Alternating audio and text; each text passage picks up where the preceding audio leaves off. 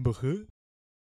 Hello，大家好，我是三个字 Sungus。你身边有没有过这样的朋友？他可以把手指折成你没有想象过的诡异角度，而且还可以轻易的把自己的身体前弯对折。但为什么他可以做到这样的事情，而你却从小就全身僵硬的跟石头一样呢？因此，这次影片就要来讨论一下，为什么有些人的关节会如此柔软，到底是哪些因素造成的，以及身体真的是越柔软越好吗？这一次的影片呢，可能会颠覆你对柔软度的既定观念。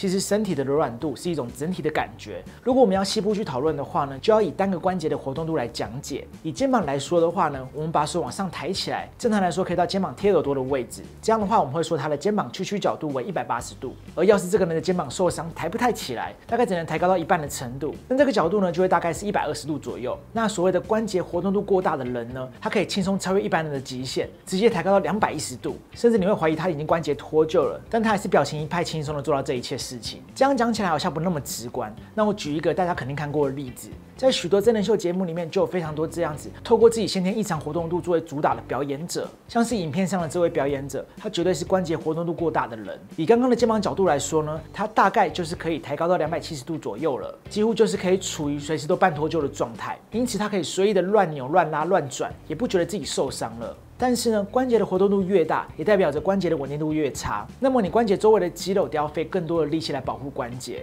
而这些活动度过大的人呢，也会比起一般人更容易在不注意的时候去拉伤或是扭伤自己的身体。像是在前几年就有新闻报道过，日本歌后宇多田光就曾经被诊断出关节过动症候群。他自己的描述是呢，从小身体就比人家还要柔软，但也非常容易有酸痛的问题，而他自己一直以来都不太知道为何那么容易受伤，直到长大后他被诊断出这个问题，他才恍然大悟。那会造成他比一般人还要更容易酸痛的原因，就是因为肌肉得要花费更多的力气去保护关节所造成的现象。但这种活动度过大的感觉，大家可以回忆一下，自己幼稚园的时候，不管是做劈腿啊、前滚翻、侧滚翻，都是非常容易的。这就是因为小时候的骨骼韧带都没有发育完全，因此那个时候的身体很软，什么样的奇怪动作都做得出来，但是身体也相对来说比较脆弱。而是什么造就了一个人在成年后会产生关节活动度过大的问题呢？首先，先帮大家定义一下什么是关节，它就是骨头与骨头连接处，它们并不是像卡榫一样整个卡死的构造。为了要让关节稳定，但还是可以动，因此两个骨头之间的稳定主要是有像是绳子一样的许多条韧带来维持的。这样的构造可以让关节有一定的活动空间，但又不至于跑离太远，所以关节的活动度就跟韧带的弹性非常有关了。而关节活动度过大的人呢，就是韧带比起一般人还要松弛。平常人只要把身体折到极限，就会感受到韧带与肌肉的撕裂感了。但他们甚至可以把自己的关节弄到脱臼再接回来，都不会感觉到任何来自于身体的警讯。那为何这些人的关节活动度会过大呢？如果只是单个关节活动度过大的话呢，那常常都是因为那个关节韧带有受损了，甚至断裂了。像是有些人的肩膀容易脱臼，通常都是因为他们肩膀有过严重的损伤，或是反复的韧带断裂，导致韧带失去保护力，关节没办法被固定在对的位置上。但如果要说是全身的那种关节活动度都过大的话呢，这方面的差异在男女上就有明显的分别了。女性的关节活动度通常都是比男性还要更好的，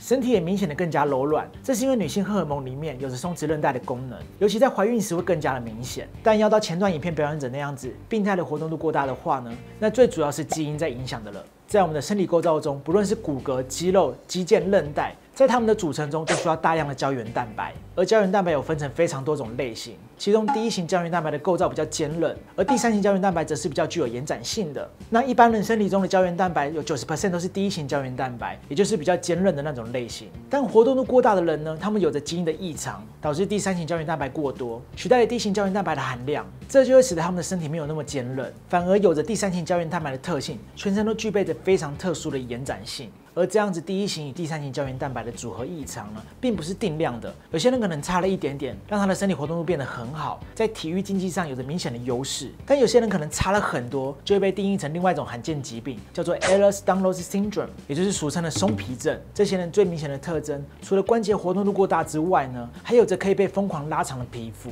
你可能会想说，皮肤可以被拉长而已，不能算是个疾病吧？但你要想的是，这些人全身都有着第三型胶原蛋白过多的问题，因此除了骨骼皮肤。之外呢，他们的消化系统与心脏都会跟着受影响。像是在巴西有位创作者，他罹患了这项罕见疾病，因此他在 IG 上记录着自己与这项疾病共存的生活。他说自己从小四肢就可以被扯到很夸张的幅度，但也因此很容易扭伤或是关节脱臼。而且除了骨骼肌肉的问题之外呢，他从小就很难进食，吃一吃就会呕吐或是严重的消化不良。因此一直以来呢，吃东西就是他最大的困扰。他最近两年已经完全没有吃过东西了，一吃就会不舒服，所以他都只能靠着静脉注射来补充营养。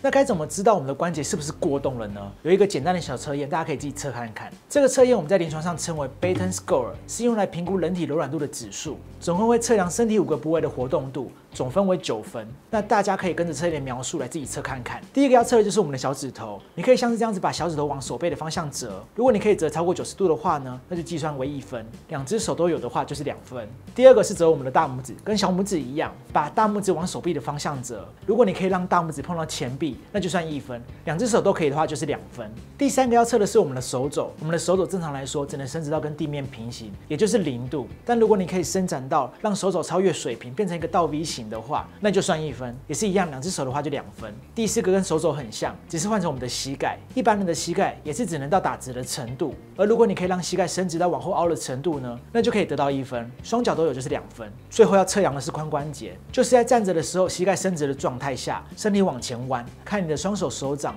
能不能完全平贴地板。如果可以的话，就得一分。而如果你测验完发现分数大于四分，就代表说你的身体可能有关节过动的状况了。但就算有这样的状况，但如果你没有伴随酸痛问题的话，那就没有关系了，这只是代表你的关节活动度比别人好而已，甚至你可以把它当成是一种优势。但如果你真的因为关节过动而时常酸痛，或是特别容易扭伤，身体也非常容易疲累的话呢，其实也不用太过担心，因为如果不是太过严重的话呢，就会有点像是宇多田光那样，虽然有点症状，但都还可以透过健身和运动得到改善。因为就算韧带没办法提供关节稳定度，你也可以在后天透过肌肉的强化来弥补这样的不足。那如果怀疑自己有严重到几乎就是松皮症的程度了，那就可以到医院做进一步的基因检查，看看是不是真的有相关的问题。